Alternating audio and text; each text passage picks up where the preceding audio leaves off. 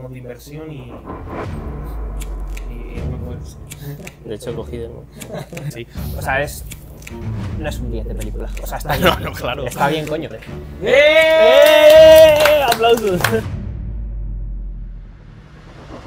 Película de hoy que no es otra que La gran apuesta. la, la gran. ¡Apuesta! Eh, No tengo- no tengo micrófono. no tengo- Es verdad, es verdad. Quí- Quítalo y déjalo. Ahí yo creo que se va a escuchar bien. Elias, si no, ponte, escórate un poco tú hacia adentro. Y así, tú, Javi, si eso, échate un poco más hacia Elías. No, hacia mí, hacia mí, hacia mí, hacia mí, hacia mí. Hacia mí, así, perfecto. Tú, Elías, vente un poco hacia acá y escórate hacia adelante. Perfecto. Muy bien. Efectivamente, eh, la sección de ahora, película de la semana. Película de la semana, continuar un poco el formato del, de- de la- del año pasado, de la primera temporada de, de Puro Cine, que fue un éxito de crítica y de público. Así que eh, vamos allá, no sé si queréis que comente algunos aspectos técnicos. Sí, ¿no? Y luego ya, efectivamente, año 2015, director Adam McKay, Que ha hecho la película de No mires arriba, la de, estrenada en Netflix. la del año pasado, de 2022, que era protagonizada por, eh, Por Leonardo DiCaprio. y eh, la- siempre se me olvida el nombre, pero la de los Juegos del Hambre. sí. Jennifer Lawrence. Jennifer Lawrence. también la, la que tiene como 500 Oscars, la piba esta que hacía de... Bueno, Charlize Theron. Y sale Timothy Chalamet. No, o sea, la. Sale Timothy Chalamet, que es el novio Sí, de... ¿sabes? es verdad, es el novio de ella. Eh, sí, bueno, a mí, buena peli, la verdad. Eh, la cosa es, eh, director de eh, El vicio del Punto. poder, que también es... El vicio del poder. que es de Christian Bale, tal, bueno, y Me gusta cosa esa película. pero es que decíamos ayer, tampoco Mm. tiene mucho Adam McKay. No, no, o sea, tiene varias, eh, lo estuve mirando ahí un poco. Eh, tiene como comedias de estas, como un poco casposas. O sea, con, con carismilla, Sí. pero ¿Puedo casposas. pasar mientras me voy a rellenar el vaso de agua?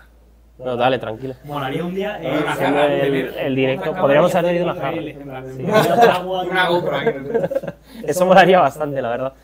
O, o igual hacer eh, el sonidito del agua al caer, ¿no? Ponemos el micro. Pero que se lleve el micro él y nosotros hablamos, pero sa- sabemos lo que está haciendo. Se va a mear y se escucha. Claro, claro. Vale, vamos Eh, a, vamos de hecho, voy a hacer una cosa así, vamos Sí. a profundizar un poco en la, la biografía del, la- la biografía del, del director, Adam McKay, esos 56 años y tiene películas pues como El vicio del poder, Don't Look Up y efectivamente como la, la gran apuesta a las principales películas de su... Tú habías dicho así, como un poco de comedia de segunda fila. Claro, claro, hasta Que- que hizo la de la, de la gran apuesta era como, como comedias de, que, no ha, que no ha visto nadie, o sea, comedias raras, o sea, comedias de... Sí. Mira, algún capítulo de Saturday Night Live en, en- en su momento. Eh, mira, participó, por ejemplo, de como guionista en Ant-Man. Eh, es verdad que luego sus, sus tres películas así más, más famosas han tenido cierta, cierto éxito en los, en los Oscar, como podemos ver aquí, ¿no? Seguimos con, con Adam McKay. Sí, Sí, estamos comentando un poco eh, la gran apuesta. Sí, como mejor guion adaptado, yo creo que es más guionista que, que director. Y bueno, aquí, en esta película, hace un trabajo muy didáctico, la verdad. Hace un trabajo principalmente didáctico. Es una película que trata un concepto muy explícito, que es, eh, no, no quiero decirlo mal, la C- CDO, la Collateralized eh, Debt Obligation, Sí. que es básicamente eh, agrupar hipo- eh, un montón de, hipo- de créditos hipotecarios en un, Sí, en un, en un un bono solo que te, eh, te- como incluían eh, hipotecas que se iban a pagar, se calificaban casi como sin riesgo, cuando realmente tenía mucho riesgo, por debajo había muchas hipotecas subprime, que eran básicamente hipotecas que se daban prácticamente sin pedir ni, ni nómina ni nada. Aquí, aquí debe de asumir un poco la responsabilidad de haber elegido esta peli porque la tenía recientemente vista y es una peli que a mí me gusta. Es un tema que a nosotros no nos gusta. Sí. Igual puede para- a- al público igual- igual esta peli En general. aburrida. Sí, claro. O sea, que De mejor hecho- forma de empezar la temporada que haciéndonos una paja nosotros mismos. luego, luego ya... No, pero eh, era, era mejor idea en mi cabeza de lo que realmente porque la peli, luego, es verdad que está muy bien y aquí habría estado perfectamente puesto eh, un, si pusiéramos la Sí. escena de, de Ryan Gosling cuando lo explica, pero es que es algo como si te interesa el tema, la peli Sí. te va a gustar, si no te interesa el Mm. tema, la peli te va a parecer aburrida. Es, Pero ver- es- no, verdad que... Pues yo creo que todo lo contrario. O sea, si te interesa el tema, te va a flipar y si no te interesa, O sea, Vas a aprender algo. Claro, Sí, o sea, eso es, un- eso sí. está como muy picadito, o sea, de verdad, el concepto de las hipotecas subprime y todo, y todo Está lo muy- muy bien explicado. Lo de eh, invertir en corto, el tema, o sea, son como cosas Mm. súper. Que nadie había invertido en corto Claro. en, en bonos hipotecarios. Sí, Porque se eh, entendía eh. Michael Burry, un inversor eh, ultra famoso en el mundo de la inversión, eh, que efectivamente crea como esta posibilidad de ponerse en corto a través de esto, de los credit, credit de- default swaps, los CDS estos, que evidentemente todos estos conceptos que estamos diciendo, si queréis verlos, en, las- en la peli lo explica, porque de hecho se para De hecho, precisamente solo para explicarlo. Robin explicándolo. O sea, hay un momento en la serie, bueno, en la, la Robin. Robin. El de, Ba- Robin y- Sí, el de Batman. Robin al principio. Ah, Está- Robin el de Batman. No, pero eh, eso y, y lo que decimos, la peli es didáctica, desde luego. Eh, te explica de una manera más o menos didáctica y entretenida. eh, realmente levanta la, la idea a la mierda de lo que pasó en la crisis de 2008 Sí. y lo hace de una manera que el público general lo, lo suele entender. De hecho, mola mucho. A mí Ryan Gosling, eh, eh, es verdad que eh, Christian Bale igual es el, el personaje más reseñable de la Sí. historia y el que mejor actúa para mí. ¿eh? A ver, es un poco cutre, pero... Bueno, joder, sí. Pero. mm, que bueno, que se vea que son los cuatro protagonistas, Christian Bale que hace Michael Burry, que es el primero que se pone en corto, básicamente eso apuesta a que van a, van a, van a bajar, la gente va a dejar de pagar sus hipotecas, básicamente. Luego Ryan Gosling, que es el tío de Deutsche Bank, que también como que se une un poco, de los primeros dentro de los bancos que se une un poco a la moda. Pero se entera como casi de manera aleatoria. Lo Sí, que sí, lo escuchan. No, pero, o sea, porque se estaban riendo del. Del Burri, porque Sí. realmente hay un puto loco que quiere perder pasta, que tiene un fondo de inversión y quiere perder pasta. Y que, que jamás en la vida se habían dejado de pagar hipotecas en la historia de Estados Unidos, hasta que, claro, había, evidentemente había una burbuja inmobiliaria que nadie había sabido ver hasta ese momento. Eh, luego está Brad Pitt, que es como un poco ayudante de estos chicos. La- el papel de Brad Pitt, la realidad es que me sobra bastante. Si no fuera Brad Pitt, sería algo bastante olvidable. Aunque es el, el- que tiene como un carácter más épico. Bueno, Sí. speech. Bueno, el, este, eh, eh, Steve Carell, que hace también de otro inversor que se puso en corto. De hecho, el último que vendió como Pero los... Brad Pitt es el único que no hace dinero porque lo hace de manera altruista para ganar a, para ayudar a, a los dos chavales Sí, que, que también lo descubren por Ujú. y me acuerdo que los eh, los eh, chavales que aquí no aparecen en el Sí. pero son casi más protagonistas que Brad Pitt porque son como los que también Sí. se lo encuentran de Sí. casualidad en el banco tal y, y hacen esa apuesta en contra del mercado inmobiliario y, y me acuerdo como que celebran en algún momento que han conseguido firmar Sí. el contrato de, de los CDS Skimento Barry también Sí. y, y como que eh, el Brad Pitt les saca que están apostando contra la Claro, claro. economía de, Contra la, de- sí, de su país. que implicaría la pérdida de un montón de trabajos, gente en la calle, que es lo que efectivamente ocurrió. Un curioso dato que digo, no sé si será verdad o supongo que está mínimamente contrastado, pero era como cada vez que sube un 1% la tasa de paro, mueren 40.000 personas. Sí. Entiendo que de manera un poco colateral, pues el hecho de que pierde su trabajo. eh, Exacto, sí, sí, te ves en situación de calle, lo que sea, pero... Mm. Pero sí, no sé, película entretenida para, Sí, que- para entender esto. Es verdad que eso no es eh, la película, la octava maravilla de Sí. película, pero está... una película que merece la pena comentar y que si queréis aprender ciertos conceptos, y sobre todo, que está, está muy bien para entender lo que pasó en 2008, Claro, claro, que, todo que, que realmente la economía tal y como la se configura ahora no se entiende sin lo que Claro, ocurrió en sí. 2008. Entonces, bueno, eh, Pues yo, yo la recomiendo, es verdad que es, te tiene que gustar un poco la economía, yo creo. Sí, o sea, aprenderías, pero... O sea, yo, yo me la tragué. interés, por lo Yo la menos. primera vez que la vi, yo qué sé, tendría eso, 16 años. O sea, me la Cuando pelaba la- salió, más o menos, ¿no? Sí, 15 cuando salió por ahí. Ujú. O sea, y a mí me la pegaba la economía y tal, y yo me la tragué y dije, pues me parece bastante buena peli. O sea, no. Ya sí, ya ¿Sí? coño más mayor, ya te la ves sabiendo un poco de qué va la movida Sí. y ya te mola más. Pero ya solo el hecho de, sab- de entender el concepto de por qué eh, tu país y vida se fue a la mierda en 2008, Sí. eh, ya te digo, muy picadito, no sé si dura dos horas o algo así. O sea, no, Sí, no, no, no, no se te, no se te hace larga. me, Eso es me, me verdad. deja todo súper bien explicado, encima con unos toques de comedia bastante finos para la, la movida que tiene que estar Sí, lo contando. denso que es. Sí. Sí, a- porque a nivel técnico de planos y todo eso, la película me parece Sí. no es tampoco una. Pero No, es aceptable. en plan, sí. Lo de romper la cuarta pared para que Ryan Gosling haga la explicación Sí, de los CDOs, que de repente te aparezca Selena Gómez o Margot Robbie para explicarte no sé qué cosa concreta Sí, sí, sí. de producto derivado financiero. Yo qué sé. Está, está graciosa y entretenida. No sé, peli recomendable. Teníamos que Peli interesante. Con, con alguna Procine estos meses. Eh... Sí. Bueno, tendremos que ver si seguimos con el canal, con el eh, calendario nuestro oficial. Estreno de la No, segunda no temporada, tú. Freddy, ¿dónde vas? Pero bueno, el calendario oficial o, o lo podríamos someter a Instagram o para los Patreons. los Patreons. No, no, sí. Lo de la cartera fría. Bueno, te- tenemos eh, un canal un poco olvidado de Telegram, pero la idea era pues que la gente como que participara o, eh, ofreciendo películas y de hecho estamos completamente abiertos. Si alguien nos viera en algún momento, que se metiera.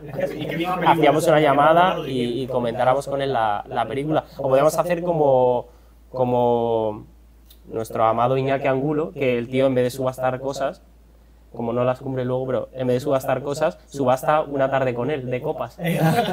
Pues nosotros subastamos una tarde, exacto, una tarde de cine con él, que pueda comentar con nosotros y, y nada, un poco eso. Yo, lo que, a mí lo que me gustaba mucho es la manera que te vende el concepto, un poco como lo de los inversores, como si fueran un poco estrellas de rock. Y eso lo, quedas, lo, lo, lo vas viendo que igual era algo como muy de nicho en ese momento, pero ahora, por ejemplo, Warren Buffett hay gente que, que, que prácticamente lo identifica como un dios. Sí, sí, sí. Que para muchos Sí, inversores ya... y Michael Burry igual, o sea, Igual. A, a Burry lo tienen como el, el- Además, la bolsa siempre suele tender para arriba tal, y Sí. Burry es siempre el contra. Sí. El rebaño siempre. Bueno, eh, curiosidad, eh, se metió en corto contra Tesla. O sea, sí. Ah, cierto. Bueno, Sí, alguna falla. sí. Es que claro, igual no falla. O sea. No, pero yo recuerdo que es verdad que se metió en corto y luego También vendió sacó bastante pasta de cuando pasó lo de GameStop y todo esto. lo de GameStop. Sí. En plan, vio el short squeeze que iban a hacer a los fondos de inversión y. Y. y No puedes. De hecho, he cogido. Mete, mete la. Lo meto en la llamada. Sí, eh, ¿alguna cosa queréis comentar eh, más? ¿O abrimos, si no, una, una pequeña espacio para tertulia? Podemos eh, pasar ya. Llevamos cuando de. Nos ha quedado escueto el vídeo de. Sí, es que ya te digo, tampoco hay mucho de comentar, porque no hay ninguna escena que diga, guau, qué guay esto, como que bien explica este concepto. Es como que todo lo hace muy bien, Y cualquier escena medio reseñable. es importante. Sí, sí. Debe ser importante. Me está llamando el CNI. Hemos hablado de algo que no quiere la, gente sepa. Pero sí, no, es verdad que eso, que no, no hay mucho. No hay mucho que comentar. Lo malo del directo, ¿no? Sale todo mal, sale todo Sale, mal. sale todo fatal. Eh, ¿qué, qué hacemos ahora? Me siento desnudo. Eh, no, pues, o sea, seguir un poco, güey. Sí, sí. O sea, es. No es un 10 de película. O sea, está No, bien. no, claro. Está bien, coño. Y la cosa es, está. De hecho, muy bien para lo que para lo que explica, pero ya te digo, no hay ninguna escena reseñable, no hay, ya te digo, estamos, hemos comentado como dos veces ya lo de eh, que el concepto financiero esto te lo explica Margot Robbie, mm, Margot Robbie, Sí, pero, o sea, que es como, que sí, el tema de la cuarta pared, o sea, tiene carisma para contar lo que tiene que contar. La... Y de pocas pelis financieras de este estilo, recuerdo que sean tan como fidedignas a la... Porque podríamos calificar el Lobo Wall Street como peli financiera, pero en el Desde luego, no no es, se no es fiel a la realidad. desde luego. Cabrón. Exacto. No, no, También es verdad que es una peli, es que son pelis completamente Claro, distintas. claro. Es que esta peli juega, para, o sea, prácticamente utiliza actorazos, pero esta es una peli que te protagoniza un random que acaba de salir de la academia y no sé si la vería mucha gente, la verdad. Siendo serio. O sea, porque te explica muy bien los conceptos, pero tiene un lado muy didáctico. O, Sí, sea, sí, sí. o sea, juega bien con eso, pero. O sea, esta peli te la protagoniza. eh, es un tío que acaba de salir de la academia y yo no sé el recorrido que tendría, la verdad. Eso es verdad que tiene un elenco que flipas. Sí, sí. Christian Bale hace, bueno, como prácticamente todos los papeles. Hace es espectacular. Eh, Brad Pitt, ya digo, es que, la inter- sinceramente, pagar el dinero que le habrá pagado a Brad Pitt para lo que hace la película es. Bueno, Ryan Gosling en esta creo que es cuando rompe un poco eh, la dinámica, porque siempre hacía como eh, comedias románticas y como Sí. de guaperas y tal, y es como por estas fechas cuando ya empieza a- Sí, como a salir un 2015. poco de- del Romper de la, de la dinámica absolutamente porque el tío además va teñido de dinero. No, claro, claro. No parece. No Va de parece judiazo, va de judiazo. Bueno, es verdad que hace La La Land el año siguiente. Sí, pero ya era Que como como más. O sea, que aquí es. Sí, joder, sí, es una de guaperas, pero No, era. sí, sí, sí. O sea, pero como que ya empezaba a hacer otra movida, ¿sabes? Hace otras cosas. Em, ¿Cuál creéis que será el próximo? Pues igual que fueron los. Además, es que tiene que ser jodidísimo de prever. Pero ¿qué serán los próximos bonos hipotecarios que jodan la, la movida mundial de Las de. de envidia, por ejemplo. Está ahí como. Cuidado. Sí, sí, no, pero además es que pasará, porque volverá a pasar, en algún momento la bolsa bajará en cantidades como Sí. bajó en 2008, porque la economía global dirá basta, y habrá algo, porque lo explicaba al principio también de la peli, cómo Sí. inventaron ese monstruo que los se- CDOs sintéticos. Sí, joder. Sí.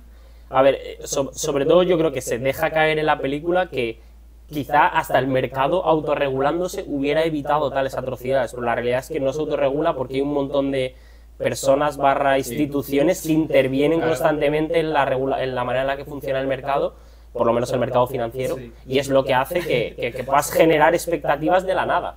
O- ojalá, ojalá haber preparado para esto un meme que había, el otro día justo me salió en Twitter uno que era eh, el mercado se autorregula, era como entre comillas, eh, pop, el mercado autorregulándose. Y era una hamburguesa de estas, eh, es más, pero con mermelada, eh, chetos por encima, Era de- helado. era de Pantera Rosa, el, mer- el mercado autorregulándose, y es Tenía- eso. Tiene, tiene Ignatius un vídeo eh, hablando de cuando Rodrigo Rato dijo lo de Es el mercado amigo. es el mercado amigo. Y, y él decía que como la manera de joder al mercado es empezando a demandar al mercado cosas que eh, casi totalmente impredecibles. Y él decía, por ejemplo, que quería una pasa que se desplegara un cuadernillo. Plan, algo que el mercado fuera incapaz de, de- de- pre- de- prever lo- sus deseos y sus intereses, ¿no?